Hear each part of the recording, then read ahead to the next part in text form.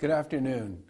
First, I hope you'll join me in wishing Governor-elect Maura Healey and Lieutenant Governor-elect Kim Driscoll all the success in the world.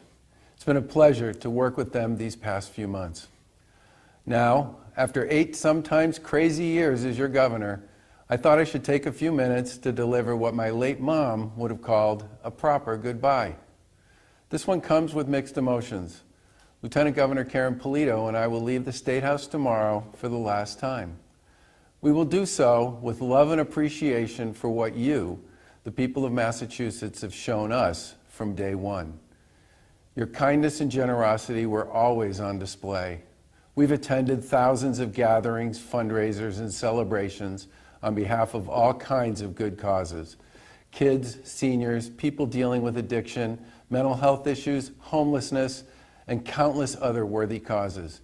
Neighbors helping neighbors, local leaders going above and beyond, businesses big and small standing up for their communities. My staff used to give me a hard time when I would say yes to attending two or three or four of these events on a weeknight or a weekend, arguing that it would wear me out. I thought just the opposite. It was like fuel for me. Watching people do good things to benefit others gave me joy. No one cares what party someone belongs to at these events. It's all just about people helping one another. We also learned a few things along the way. One of those gatherings started a discussion that eventually became our Summer Nights program. Someone asked me why there weren't more things for kids in cities to do on weekends and at night. So we did something about it.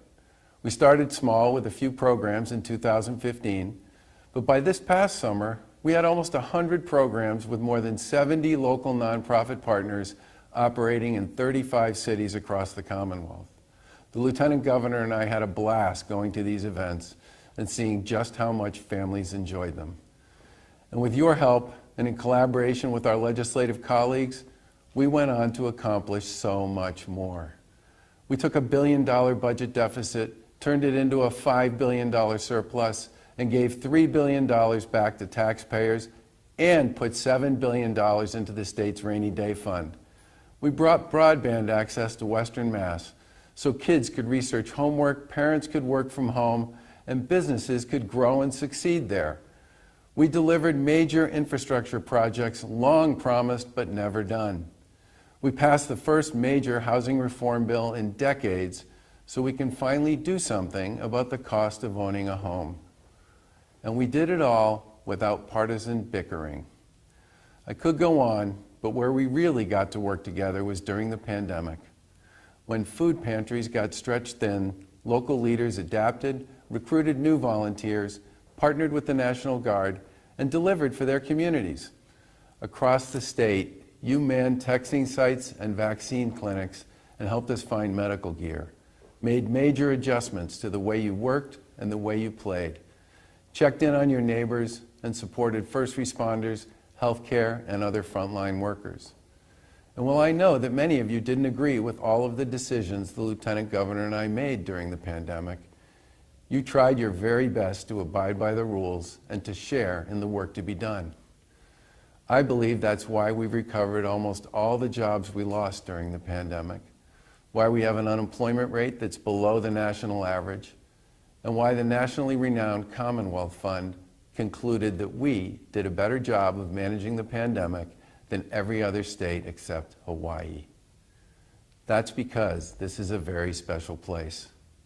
Lieutenant Governor Polito visited and met with local officials and community leaders in all 351 cities and towns, many more than once since taking office. I got to more than 250. Both of us were amazed by the creativity, decency, and shared sense of purpose that we saw everywhere we went. Despite a myriad of political fights and distractions that were raging all around us, People here chose to focus on the work, and it paid off. The personal and professional generosity, from the Berkshires to Cape Cod and every place in between, was always there. We were there too, in the front row, watching it and appreciating it for eight cherished years.